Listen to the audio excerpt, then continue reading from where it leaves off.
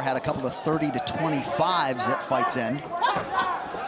Uh, randall was trying to react. She was kind of reacting to everything that Blanchfield was doing. She can't get a hand on the mat to start building her head just up.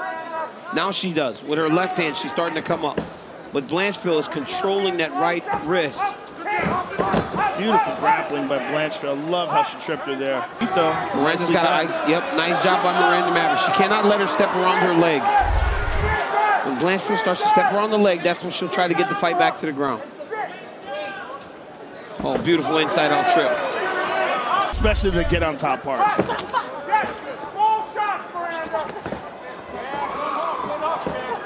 Blanchfield trains out of Silver Fox BJJ, ties to the Renzo Gracie Academy, lands a knee there. But that's that's the thing, oh, right?